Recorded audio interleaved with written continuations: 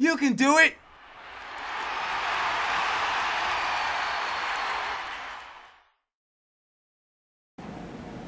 Welcome back. This is the last progression of the SB crawl.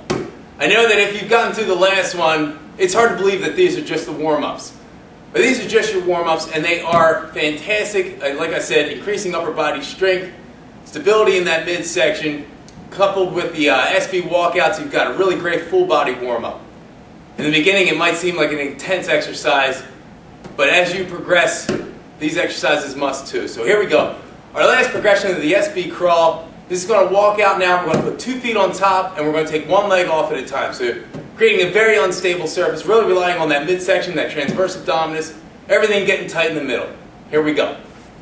Okay, so over top of the ball, four points of contact again. We've got the imaginary line.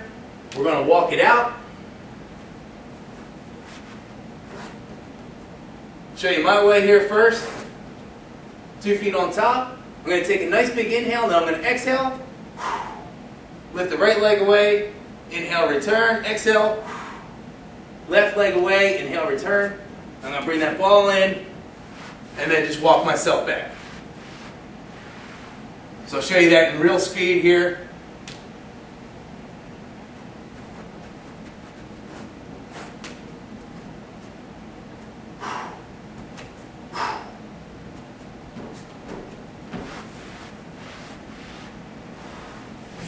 Okay, and then of course the other way to do it is to just walk out with two feet on top again, just using the ankles.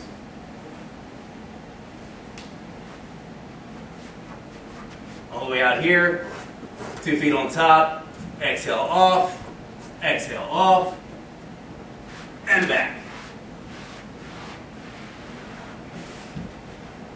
So either way you do it, that's a heart pounder. That's going to be a great warm-up for you.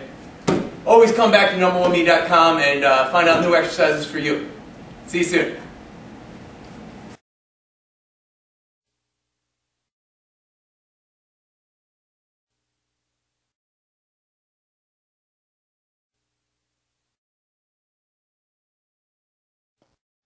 You can do it!